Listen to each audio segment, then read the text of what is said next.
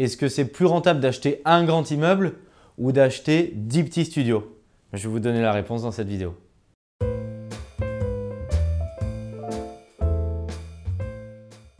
Je m'appelle Mickaël Zonta, je dirige la société investissementlocatif.com. On se trouve ici dans un appartement qui vient d'être livré à un de nos clients expatriés qui vit à Dubaï. Euh, je suis très content et je suis très fier parce que l'appartement est magnifique. Euh, on vous mettra quelques photos pour que vous puissiez vous projeter. Il est parti extrêmement rapidement, il s'est loué très rapidement. On est Paris 11e arrondissement euh, à l'heure où je tourne cette vidéo. Et je voudrais aujourd'hui vous conseiller, est-ce que vous, vous souhaitez plutôt acheter un grand immeuble en une seule fois ou est-ce qu'il faut mieux, est-ce que c'est plus rentable d'en acheter 10 petits? Et je vais pouvoir vous donner les grandes différences pour vous aider à prendre la bonne décision. Pour ceux qui ont la chance euh, d'avoir ce type euh, de problématique et de réflexion, puisqu'il faut euh, effectivement avoir une enveloppe et une surface financière suffisamment importante, mais c'est une question qui revient fréquemment où les clients me demandent Mickaël, est-ce que j'ai le pouvoir d'achat pour faire 10 opérations? Est-ce qu'il faut plutôt que je fasse un gros immeuble ou est-ce qu'il faut plutôt que je ventile en achetant 10 studios puisque au final le montant investi serait le même?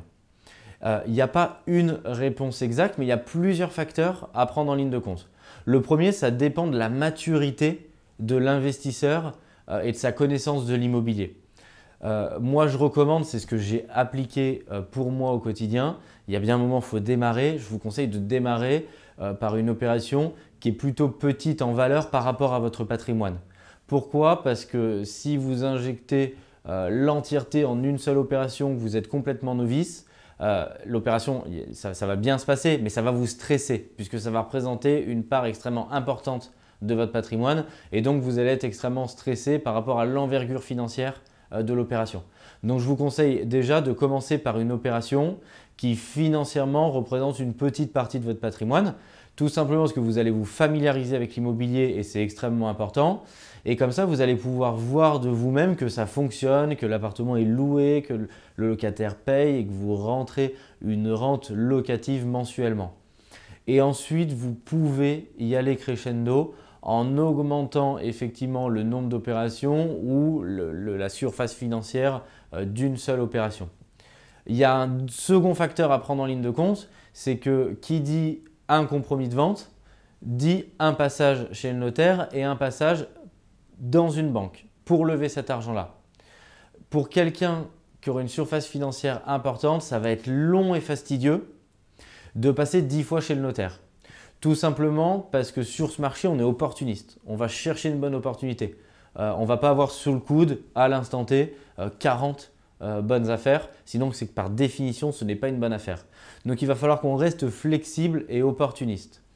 Et si vous avez la volonté et le pouvoir d'achat pour acquérir beaucoup d'immobilier, il va falloir que vous soyez à la fois suffisamment réactif et généralement vous n'avez pas envie d'attendre 10 euh, ans pour faire une opération par an. Ça n'aurait pas de sens. Donc du coup, en fonction de votre surface financière, vous commencez par une opération qui est plutôt petite par rapport à votre patrimoine et ce que vous voulez investir.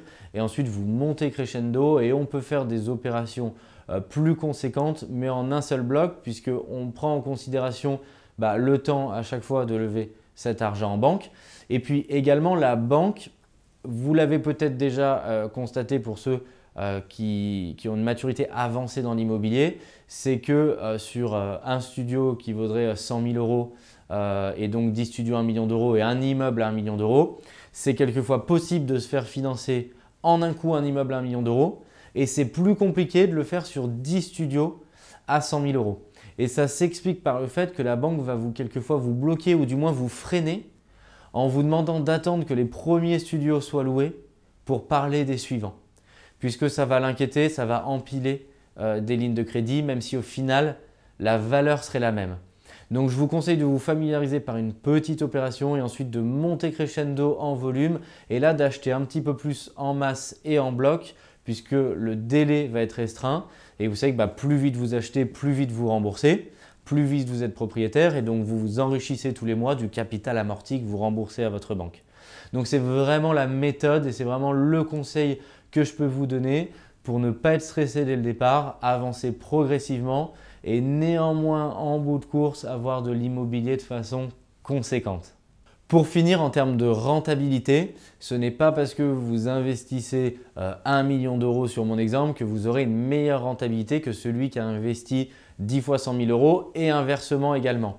Tout simplement parce que bien entendu sur 1 million d'euros, on va structurer un produit complètement euh, différent, ce qui va vous permettre de rester sur le même volume et sur la même rentabilité. Donc il n'y a ni un avantage ni un désavantage en termes de rentabilité.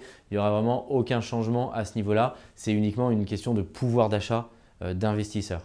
Ce qu'il faut retenir, c'est que vous souhaitiez acheter un parking, un studio, euh, une colocation, un plateau à diviser, un immeuble de rapport. Euh, il en faut pour tous les budgets et dans l'immobilier, le plus important, c'est de débuter. Euh, je suis sûr que ma vision a pu vous éclairer pour ceux et celles qui se posent cette question et qui sont en pleine réflexion actuellement sur leurs investissements. N'hésitez pas à mettre vos questions et vos commentaires. Ça permettra que je puisse vous répondre et que je puisse traiter vos problématiques et vos questions, vos interrogations dans les prochaines vidéos. Je vous dis à très bientôt. Au revoir.